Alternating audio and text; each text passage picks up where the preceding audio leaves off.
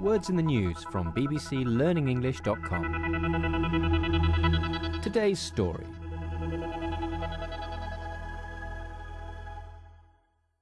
Hi, I'm Rob, and here are today's words. Frightening. Jaws. To tell the tale. Scars. Ordeal. Watch and listen to today's report. A frightening sight for any swimmer. Jonathan Kathrein was attacked while surfing in 1998. He battled to free his leg from a shark's jaws.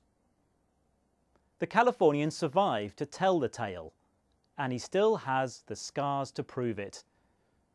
He turned his ordeal into a campaign to save the animals, though. And this month, his state added the great white shark to its list of protected animals.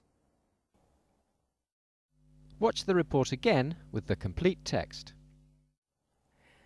A frightening sight for any swimmer. Jonathan Kathrein was attacked while surfing in 1998. He battled to free his leg from a shark's jaws. The Californian survived to tell the tale, and he still has the scars to prove it. He turned his ordeal into a campaign to save the animals, though. And this month, his state added the great white shark to its list of protected animals.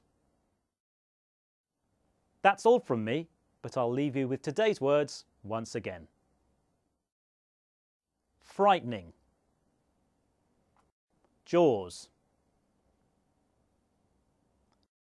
To tell the tale. Scars. Ordeal.